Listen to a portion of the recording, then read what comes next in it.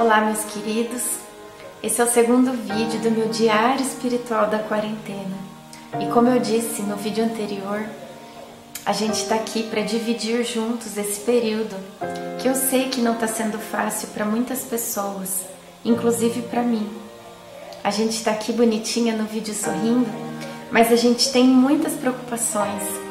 Mas a gente precisa, sabe, depositar essas preocupações no Senhor acreditar que Ele está cuidando de tudo. Por isso eu venho até aqui hoje trazer para você mais um trecho da passagem bíblica, mais um trecho da palavra do Senhor. É Ele falando comigo e falando com você. E às vezes está tudo tão claro na nossa frente, mas a gente está com os olhos tão nublados por tudo que a gente tem visto na mídia, por todas as notícias, pelas, pelo medo, pelo pânico coisas que nos travam, que nos deixam entristecidos. E isso tudo vai gerando angústia dentro de nós. Então vai acalmando o teu coração com essa mensagem. Vai entregando para o Senhor. Vai confiando que Ele está cuidando de tudo. E que quando a gente está segurando na mão de Deus, a gente não tem o que temer. Porque é Ele que está fortalecendo, é Ele que está garantindo a vitória para nós. Eu sei que é difícil, mas é possível. Peçamos a Deus, aumente em nós a fé, aumente em nós a esperança, para que a gente creia que tudo vai dar certo. A gente precisa crer, porque eu sou mãe, eu tenho pessoas que dependem dessa esperança em mim. E não apenas os meus filhos, tem tantas pessoas que seguem este canal. Então eu não posso é, virar e falar assim: tá tudo perdido, a gente agora não vai conseguir mais, daqui para frente vai ser outra realidade, tá tudo muito difícil, sim. Eu sei que vai ser difícil, eu não tô querendo me enganar dizendo que não vai ser, que não está sendo difícil, porque está, não está sendo fácil. E eu imagino que não está sendo fácil ainda para muitas pessoas que têm pessoas com a doença do coronavírus, porque eu não estou infectada, meus filhos não estão, mas eu sei que tem mães que estão no meu lugar chorando porque estão com os filhos no hospital, ou até porque já perderam pessoas da família para essa doença. Então a gente não tem que tapar o sol com a peneira e falar assim: ai, tá tudo lindo, tá tudo bem, não é isso. Mas a gente não pode esmorecer na fé. A gente não pode perder a esperança. A esperança está dentro de nós cristãos, porque nós temos Jesus Cristo, que é a nossa esperança. E nós temos a fé que nos foi depositada em nossos corações. Então, se você está aí vendo esse vídeo está tristinho e está abatido na fé, olha, se anima, olha para mim que estou aqui sorrindo, mesmo que, que no coração tá difícil, eu tô aqui. E a gente juntos, eu dando força para você e você dando força para mim, a gente vai atravessar por tudo isso.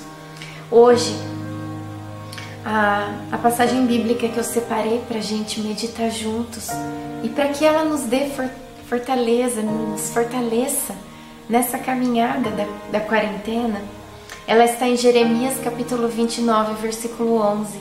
É um profeta falando. No tempo dele também não foi fácil não, tá? Mas ele atravessou e ele venceu. E se outras pessoas atravessaram e venceram, nós também venceremos. A passagem nos diz: Porque sou eu que conheço os planos que tenho para vocês, diz o Senhor. Planos de fazê-los prosperar e não de causar dano. Planos de dar a vocês esperança e um futuro. Deus, ele tem para nós planos na nossa vida. E os planos do Senhor, eles são perfeitos para nós. Só que a gente precisa confiar neles. Então, como diz aqui na passagem bíblica, planos de fazê-los prosperar e não de causar danos. Deus ele não tem planos para nós que vai fazer com que a gente se perca. Pelo contrário, Deus quer que nós prosperemos. Mas a gente precisa confiar. A gente precisa se entregar.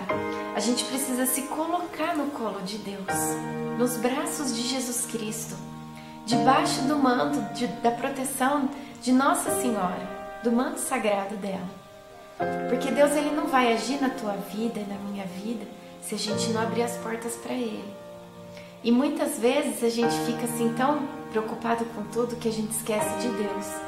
A gente se desespera e a gente não abre as portas para Ele agir. A gente não chama Ele para participar. E Ele está aqui. Só que Ele só vai agir se eu deixar, se você deixar. Se você abrir as portas e falar: Senhor, faz os teus planos em mim, faz tua vontade em mim. Eu quero o teu plano que o Senhor tem para mim. Por mais difícil que seja, eu sei que Ele é o melhor para minha vida. Então vamos juntos fazer uma oração, entregando a nossa vida ao Senhor. Faz junto comigo aí. Em nome do Pai, do Filho e do Espírito Santo. Amém. Senhor, eu quero que os seus planos se realizem em mim. Eu quero a tua vontade e não a minha. E eu sei que muitas vezes é difícil aceitar, é difícil acolher aquilo que o Senhor tem preparado para nós. Mas é isso que eu quero, Senhor. E se está difícil para mim nesse momento, vem me ajudar, vem me fortalecer, vem me dar a tua graça para que eu acolha os teus planos na minha vida e realize esses planos em mim. Obrigado, meu Senhor, porque eu sei que o Senhor está comigo. Amém. Vamos rezar juntos um Pai Nosso? Pai nosso que estais no céu, santificado seja o vosso nome. Venha a nós o vosso reino. Seja feita a vossa vontade, assim na terra como no céu. O pão nosso de cada dia nos dai hoje. Perdoai as nossas ofensas, assim como nós perdoamos a quem nos tem ofendido e não nos deixeis cair em tentação, mas livrai-nos do mal. Amém. Em nome do Pai, do Filho e do Espírito Santo. Amém. Eu espero você para o nosso próximo Diário Espiritual da Quarentena. Até lá!